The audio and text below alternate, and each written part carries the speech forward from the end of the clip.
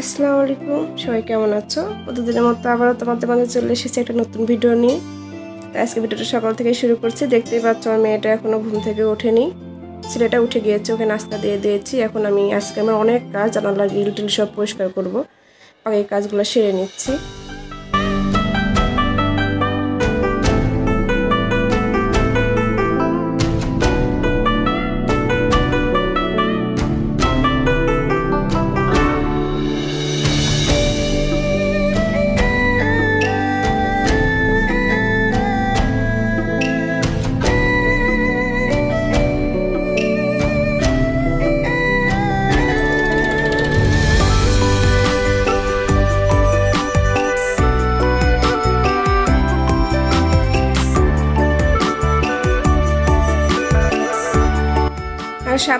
আপাতত তিন থেকে চার দিন ফার্নিচার বলো, জানালা বলো, যেটাই বলো সব কিছু ক্লিন না করলে একদম অবস্থা খারাপ হয়ে যায়। তো আমি চেষ্টা করি সপ্তাহে চার থেকে পাঁচ দিন আপাতত পরিষ্কার করার। অনেক সময় তিন দিনও হয়ে যায়, তবে চেষ্টা করি পাঁচ দিন করার আর কি। আর আজকে সব কাজ একসঙ্গে হয়ে গিয়েছে, সবই আজকে শেষ করব, কারণ দুই দিন করা হয়নি তো।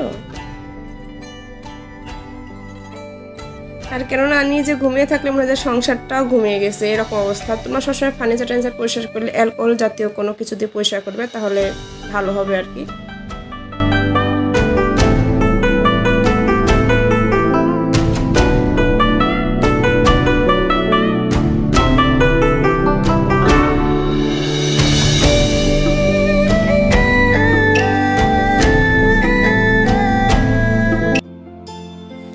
চলে এসেছি রান্নাঘরে, আর আজকে রান্না করব চিংড়ি দিয়ে লাউ আর বাঁধাকপি।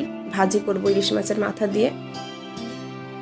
তো আসলে কি বলতো, আজকে ঘুম থেকে একটু দেরি হয়ে গেছে আর মনে আমার মনে হয় যে আমি যেদিন একটু মানে ঘুমিয়ে থাকি, মনে হয় যে আমার পরিবারটাও ঘুমিয়ে গেছে মানে আমার সংসারটাও ঘুমিয়ে যায়, এরকম আর কি। মানে আসলে রমণীরা মনে হয় এমনই হয়, সবাই আমি এমন না, সবাই মনে হয় এমনই হয়।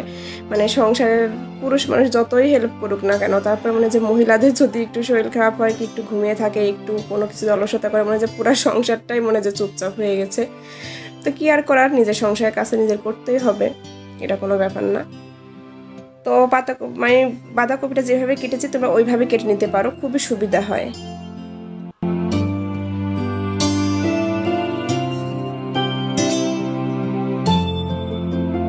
লাউটা অনেক দিন আগে নিয়ে এসেছে, প্রায় এক সপ্তাহের মতো হয়ে গিয়েছে, একটুও খেয়াল ছিল না লাউটা রান্না করার কথা। তা আজকে বের করেছি, দেখতে পাচ্ছি একটু কেমন হয়ে গিয়েছে, শুকিয়ে গিয়েছে মনে হয়। তারপরে কি করার, এভাবেই করে নেই ফেলে তো আর দেওয়া যাবে না। আজকে একটু দেরি হয়ে গিয়েছে মানে কাজটা একটু ওদিকে বেশি হয়ে গেছে ঘুম থেকে উঠতে একটু লেট হয়ে গিয়েছে, সব মিলে অনেক দেরি হয়ে গিয়েছে। মানে অনেক তাড়াহুড়ার মধ্যে কাজ কভার করতে হয়েছে, এদিকে জহরের নামাজের টাইম হয়ে যাবে মানে অনেক তাড়াহুড়া করতেছিলাম আর কি। কাজের সঙ্গে পেরে উঠছিলাম না, খুব তাড়াহুড়া করছিলাম।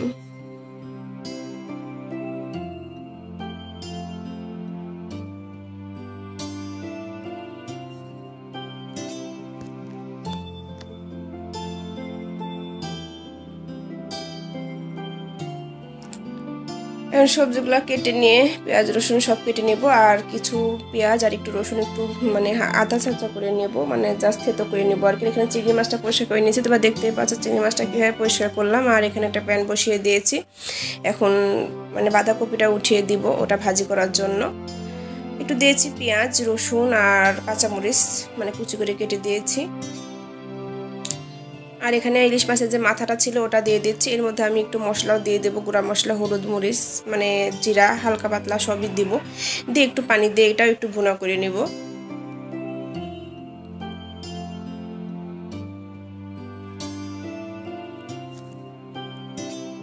একটু ঢেকে দেব, সিদ্ধ হয়ে যাবে তাহলে ভালোভাবে। এইভাবে মানে বাঁধাকপিটা ভাজি করে খেতে পারো, খারাপ লাগবে না। ইলিশ মাছের মাথাটা অনেক সময় থেকে যায় মানে খাওয়া হয় না। যে কোনো মাছের মাথায় অনেক সময় থেকে যায়। আসলে মাছের মাথাটা খাওয়া আমার কাছে মনে হয় যে একটা ঝামেলার মধ্যে পড়ে। আর আমার বাপ মানে হাজব্যান্ড তো একদমই খেতে চায় না। এদিকে আমি পানি গরম উঠিয়ে দিয়েছি চুলায়, বাচ্চাদের গোসল করাবো।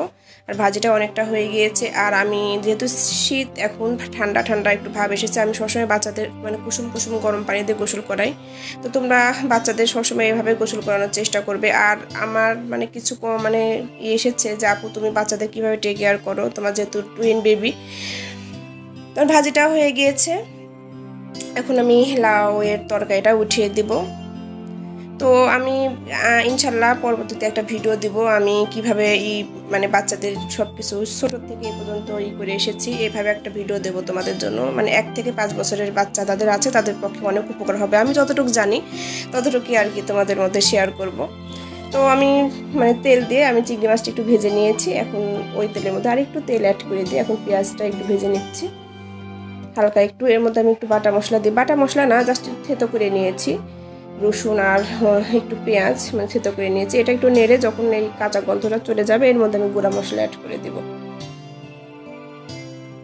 কারণ আমি তো আর মানে ডাক্তার না, তবে আমি যেভাবে আর কি করে এসেছি আমার বাচ্চাদের, আমি ছোট থেকে এই পর্যন্ত যেরকম করে মানে নিয়ম মেনে এসেছি, সেরকমভাবে আল্লাহর রহমে ওরা মানে অনেক ফিট অনেক সুস্থ আর কি, অনেক মোটা কাটা না হোক, তবে অনেক সুস্থ আছে, আলহামদুলিল্লাহ, আল্লাহর কাছে অনেক শুক্রিয়া, তবে ওইটাই আমি তোমাদের সঙ্গে শেয়ার করব, আশা করি তোমাদের উপকার হবে।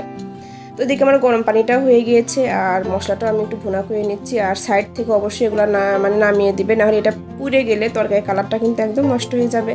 আর চিংড়ি মাছটা একটু ভুনা করে নেব। আর লাউটা কিন্তু আমার সিদ্ধ হয়ে গেছে, পুরো শ্যুট করা হয়নি। মানে ভুনা করা প্রায় শেষের দিকে। এখন একটু পানি দিয়ে ওদের গোসল করাতে চলে যাব, ঢাকা দিয়ে। তো ওদের গোসল করার জন্য ওর মধ্যে আমি একটু দিয়ে দেবো মানে ছ্যাবলন বলো, যেটাই বলো তোমরা, যেটাই ব্যবহার করো না কেন, যেটা ইচ্ছা সেটাই দিয়ে দিতে পারো, সমস্যা নেই। যে কোনো একটা কিছু দিলেই হলো, অ্যালকোহল জাতীয় কিছু দিলেই হলো। তো এদিকে আমার তরকারিটা হয়ে গিয়েছে, ওদের গোসল কমপ্লিট। এখন আমি গোসল করে নামাজটা আদায় করে নেব, ইনশাআল্লাহ।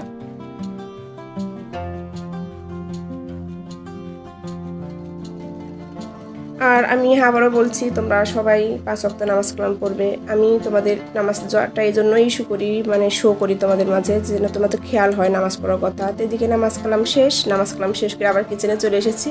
রান্নার পরে যে বাসন কোসনগুলো সব ছিল, নোংরা হয়েছিল, বেসিনটা অনেক নোংরা হয়েছিল, এগুলো ক্লিন করব। ক্লিন করে তবে ওদের খাবার দিব। মানে কাজ যখন কর কাজ, তখন শেষ না করলে কিন্তু একদম সেই কাজটা আর ভালো লাগে না, পরে অনেক বেশি হয়ে যায়। আর আমি এর জন্য চেষ্টা করি একটু নামাজটা শো করার ভিডিওর মধ্যে যেন তোমাদের এটা খেয়াল হয়। অনেকে আছো হয়তো হয়তো আল্লাহকে সবাই ভালোবাসে, আমরা মুসলিম যারা সবাই আমরা আল্লাহকে ভালোবাসি, আমরা রাসুলকে ভালোবাসি। তবে হয়তো অনেক সময় অলসতা পড়ে যায়, এটা শো করলে হয়তো মনে পড়তে পারে এজন্য আমি শো করি। তো এখানে বাচ্চাটা মানে শার্টের বোতামটা আটকাতে পারছিল না এই জন্য আমি বন্ধ করে দিলাম। আর এদিকে মেয়েও মাথাটা ভালো করে মুছতে পারিনি, তো মাথাটা ভালো করে মুছে পরে এখন চিরনি করে দিচ্ছি। আসলে সব দিকেই খেয়াল রাখতে হয়, একা হয়ে। আর যেহেতু ওরা এখনও ছোট, হয়তো বড় হলে আর এতটা কষ্ট হবে না। আমার এখন ততটা কষ্ট হচ্ছে। আর কষ্ট মনে হয় না, আমার ভালোই লাগে। এটা তো আমাদের একটা মজার মধ্যেই পড়ে, তাই না? এটাও তো একটা আনন্দ। আমার খারাপ লাগে না, আমার মাসাল্লাহ অনেক ভালো লাগে। আর নিজের সংসারের কাজ আমি সবসময় নিজে করতে পছন্দ করি। আর এখানে এখন ওদের খাবার দিয়ে দিব। আমিও খেয়ে নেব, তবে একটু পরে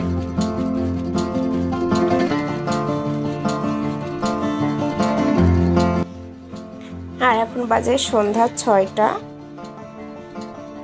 ভাবলাম ভিডিওটা শেষ করি নাই, ভিডিওটা শেষ করি। আর নিচে দেখতেই পাচ্ছ কত মানুষ। সন্ধ্যা কেন? বিকাল থেকে অনেক মানুষ এখানে হাজির হয়। আমি এর জন্য বেলকুনিতে এসে বসতে পারি না, একটু সমস্যা হয়ে যায়।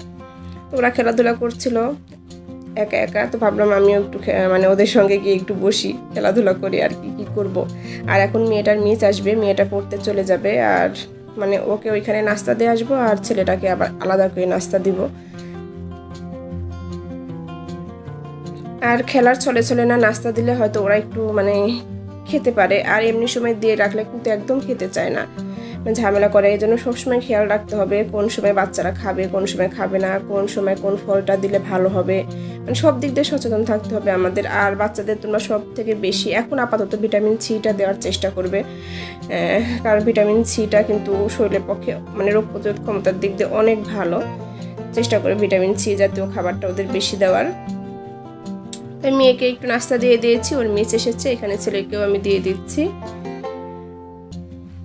তো বলছে আমি হাত দিয়ে খাব না, খাইয়ে দাও। খাইয়ে দিচ্ছি আর কি করার। যেভাবে চাই সেভাবেই করি। তারপরে ওরা একটু খাক, এটাই আমি চাই। আর আমিও সারাদিন মানে মানে অনেক কাজের মধ্যেই ছিলাম মানে নিজের জন্য আর কি কিছু করা হয়নি। আর বাবুর আব্বু সন্ধ্যার সময় কোনো নাস্তা করবে না, আর যেহেতু সন্ধ্যার সময় আজকে বাসায়ও আসবে না, একটু আসতে আজকে লেট হবে। এজন্য ভাবছি সন্ধ্যার সময় আর কোনো নাস্তাও তৈরি করব না। ভালো লাগে না। তো এখন এসেছি প্রত্যেক রুমে রুমে মানে মশা মশা একটু ই হওয়ার জন্য আর কি অ্যারোসল দেওয়ার জন্য এসেছি। তোমরা যে কোনো মশা মারার যে কোনো কীটনাশক জাতীয় যেটাই পারো, সেটাই তোমরা সন্ধ্যার সময় প্রত্যেক কন্যায় কন্যায় দিবে, দিয়ে রুমটা বন্ধ করে দিবে। আমি প্রত্যেক দিনই এরকম করি, আর আচরের নামাজের পরে তোমরা সব জানালাগুলো বন্ধ করে দিবে। এখন মশার দিক দিয়েও কিন্তু আমাদের অনেক সচেতন থাকতে হবে।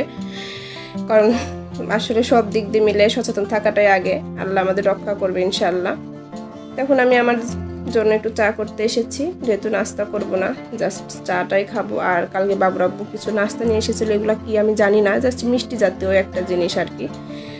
এর আগে খেয়েছিলাম, তবে নামটা কি আমি এটা জানি না। মানে একদম মিষ্টি, পুরাটাই মিষ্টি। মোটামুটি আছে, খুব একটা ভালো না, খুব একটা খারাপও না। তবে এখন নাস্তা যেহেতু তৈরি করব না, এটা দিয়ে নাস্তা সারতে হবে আর কি করার। আর সন্ধ্যার সময় কিছু না খেলে, নাস্তা না করলে, চা না খেলে মনে হয় যে মানে কত বড় একটা কাজ যেন মিস হয়ে গিয়েছে, একদম ভালো লাগে না। তো মেয়েটা লেখাপড়া করছে, ছেলেটা এখানে একা একা দুষ্টামি করছে। ও একটু পরে যাবে আর এক ঘণ্টা পরে ওর মিস আবার ওকে পড়াবে। দুজনকে আলাদা করে দিতে হয়, না হলে দুজনকে অনেক ঝামেলা করে, অনেক মানে দুষ্টামি করে, মারামারি করে, পড়তে চায় না এই জন্য দুজনে আলাদা করে মিস দেওয়া হয়েছে।